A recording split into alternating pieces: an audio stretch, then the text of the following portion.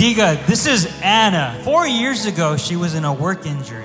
She fell and she broke her hand in three separate areas. She had to get surgery and get a metal rod installed with screws. She said, since the surgery, she hasn't been able to move her wrist or hand properly, limited mobility.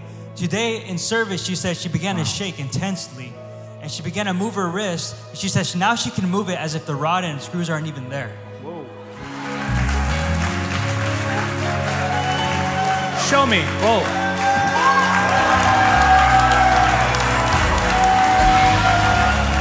Is that what this scar is from? You can see the scar where they put in the metal rod. And now she's moving like it's not even there. You need to stand and give the Lord a hand of praise for that. That's a creative miracle.